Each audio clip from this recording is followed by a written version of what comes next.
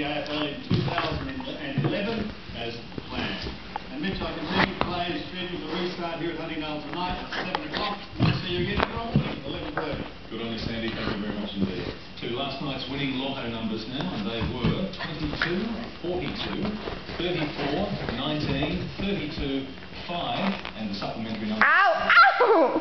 Toby! Oi! Toby! It's bad. No. Toby.